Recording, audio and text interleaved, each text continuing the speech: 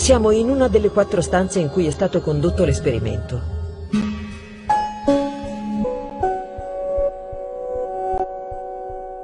L'antenna è collocata al centro di questi toroidi eh, che simulano quasi un condominio. L'irraggiamento avviene in maniera uniforme per tutti gli animali alloggiati in questi, possiamo definirli, mini appartamenti. Per questo studio sono stati scelti i ratti perché uomo equivalenti. Tra tutti i mammiferi sono quelli che rispondono agli stimoli in maniera molto simile agli esseri umani. Dalla fase prenatale fino alla morte sono stati irraggiati 19 ore al giorno con l'intensità di 1,8 GHz, quella del 2G e del 3G. Noi abbiamo scelto questa intensità per simulare la trasmissione delle radiofrequenze delle antenne della telefonia mobile e delle stazioni radiobase. Noi abbiamo avuto i risultati contemporaneamente ad uno studio fatto negli Stati Uniti con lo stesso modello sperimentale che però studiava esposizioni molto più simili a quelle del telefonino.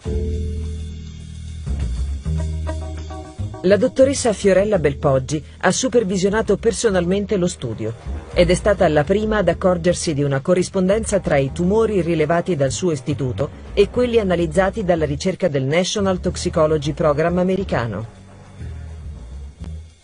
Sorprendentemente sono apparsi tumori rarissimi nel cuore.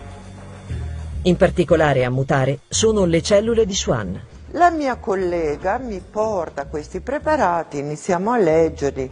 Uno, uno schwannoma del cuore, su 100 animali circa maschi, dopo una ventina di casi un altro schwannoma del cuore, un altro schwannoma del cuore. Cavolo, dico, ma questi tumori così rari, ma cosa stiamo vedendo? Dopo tre o quattro giorni esce la conferenza stampa del National Toxicology Program in cui dice che ha visto questi tumori. Quindi se c'è un aumento, seppur di un, di un tumore molto raro, ci deve sì, essere un qualche tipo il di cloruro ragione. di vinile, per esempio, che è una plastica, perché ci si accorse che era cancerogeno? Perché provocava l'angiosarcoma del fegato, che è un tumore rarissimo, Rarissimo. il mesotelioma per l'amianto, Per l'amianto, rarissimo. certo. Cioè l'evenienza di un tumore raro è sempre la dimostrazione che c'è qualcosa che non va. Non è ancora finito del tutto eh, lo studio, perché adesso sono curiosa di vedere, siccome hanno trovato tumori delle ghiandole surrenali, un aumento dei tumori della tiroide, anche se non statisticamente significativo, io voglio vedere cosa vediamo noi, perché se anche noi vedessimo anche questi tumori, eh cari basta, cioè non, non si può giocare più, perché in effetti oggi si cerca di fuorviare in tutti i modi un'evidenza che ormai è consolidata perché il business è È enorme. gigantesco. Attraverso il 5G passerà il futuro del mondo, alcuni dicono. Vorrebbero, sarà- Sì, ma vorre- non so se ce l'hanno chiesto, però lei lo vorrebbe di azionare il suo frigorifero da, da- da qui, per esempio, parlare adesso. con la lavatrice, magari parlare con la lavatrice, guidare senza volante. Noi delle onde millimetriche che verranno utilizzate per, Per il il 5G, 5G abbiamo il buio completo.